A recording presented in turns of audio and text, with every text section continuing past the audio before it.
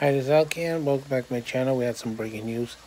Um, despite the earlier information about the uh, Supreme Court uh, uh, asking uh, Pennsylvania officials to hold those ballots that came in late, set them aside, um, they are now confident, about over 90% uh, of the precincts reported that uh, there's enough votes there for Joe Biden to um, to win Pennsylvania, and by winning Pennsylvania, he gets the ex- the 20 electoral college votes. That's more than enough to put him over the threshold of 270. So it's 273.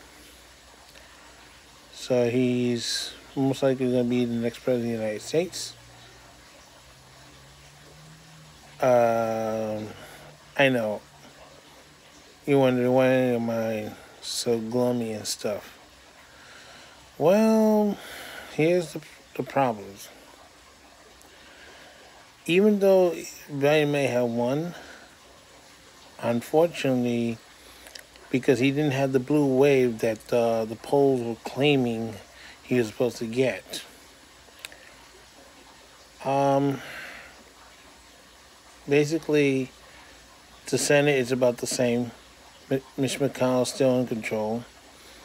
He may have lost a few seats, but not enough to uh, take control away from him. So that's number one. And number two, uh, the, in the House side, the Democrats lost some seats. So there's a reduction in power. Even though they're in control, they're not going to have the power that they had before which means that um, Nancy Pelosi's job as Speaker of the House might be in jeopardy. And no, I'm not talking about the game show. And of course, the complicated matters is now that Trump has three Supreme Court justices, uh, means anything that Joe Biden or President Joe Biden, if if it's reality, tried to pass, um, like for example, he wants to tax people who make over four hundred thousand dollars in the uh, Trump's tax cuts. Um, I don't think it's gonna go through the Senate. And if he try with executive orders, he may. Um, be blocked by the Supreme Court. So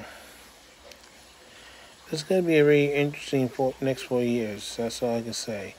So once again, uh, breaking news that the um, Pennsylvania elect, officials has um,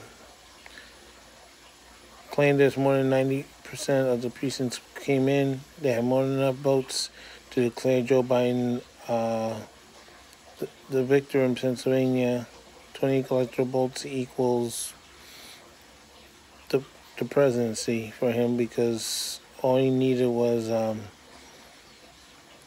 17 to hit the 270. So he's 273 to, to Trump's 214.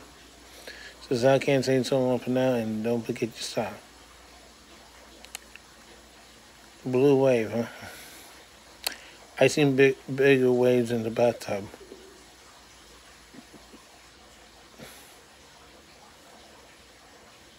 Why do these posters always get this stuff wrong?